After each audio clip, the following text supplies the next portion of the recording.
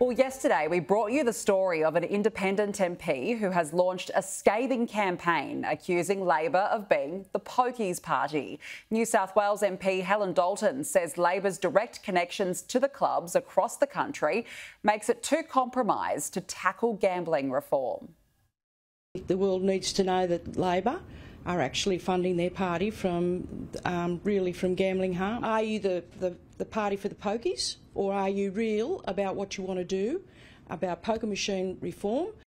Joining me now live is Alliance for Gambling Reform spokesperson Tim Costello. Tim, good morning. Thanks for joining us. What do you make of these revelations? Well, just before I go there, can I pay my tribute to Peta Murphy? She was a friend and a neighbour, and she chaired the most far reaching reform for gambling and had recommended a ban on all sports betting ads. Uh, and uh, her courage to bring together a multi partisan committee, uh, Teals, Greens, uh, Liberals, uh, and her as a Labor chair for that recommendation is another extraordinary legacy to uh, the bravest woman I knew. Um, look, when it comes to um, what Helen Dalton's saying, that's true. And uh, Labor has a gambling problem. It's why Peta Murphy, as a Labor member, chairing and recommending a, a ban on sports betting ads and other recommendations was was so brave within her party. And I hope they honour uh, her by actually implementing the recommendations.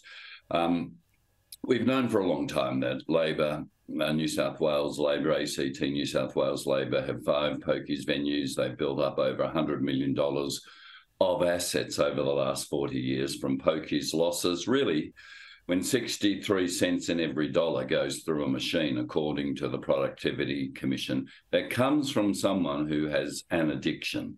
Uh, those that $100 million Labor has is built on the back of addiction and misery. And no other party, no other respectable party in the Western world does this. So Helen Dalton is right about that.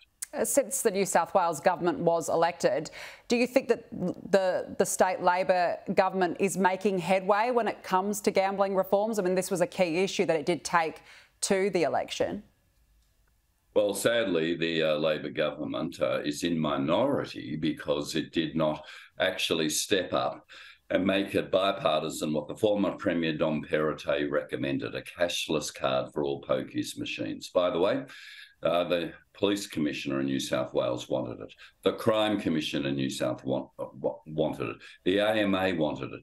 The health unions wanted it. And yet, Chris Minns, if he'd uh, agreed to that, would be majority government. The, the public wanted the cashless card, and it was incomprehensible that Labor and Chris Minns did not step up to actually uh, make that reform, which would protect uh, people who uh, do harm and would get rid of crime.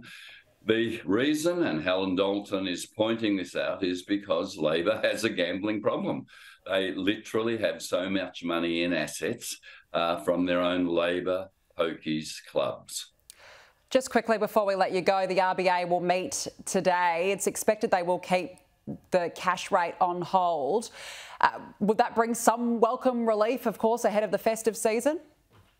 Uh, look, absolutely. The the sad thing is that uh, Pokies losses have gone up in a cost of living crisis, a record over $7 billion lost in New South Wales, because the one thing that goes up uh, when you lose hope is gambling. It seems to be your only hope. We know, of course, it just does far more damage to, to you, your family, and, and to your kids. And yet, uh, uh, that's, that's what goes up in a cost of living crisis gambling losses. Tim Costello, we have to leave it there. Thank you so much for joining us this morning.